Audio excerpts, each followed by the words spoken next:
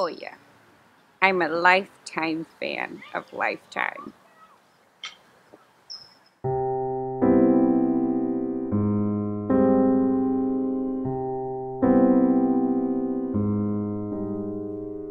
What is it to be a fan?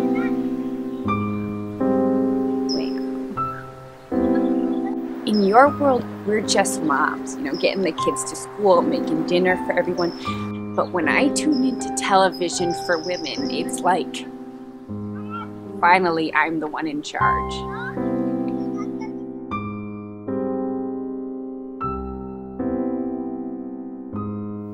I've been collecting dolls for about six years. This is a Meredith Baxter Birney uh, from the 1996 teletragedy after Jimmy, which shook me to the core and shattered my marriage.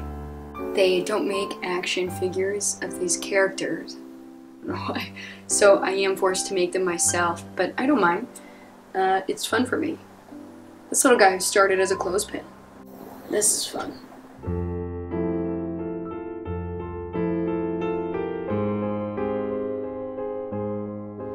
I'm into what's known as cosplay.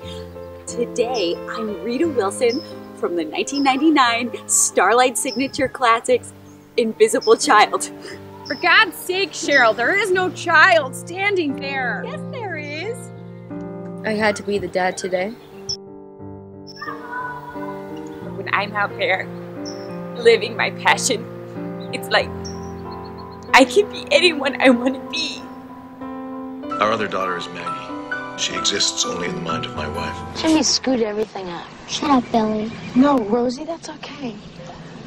We're mad and sad and confused. All sorts of things. It's magic. It's a magical experience.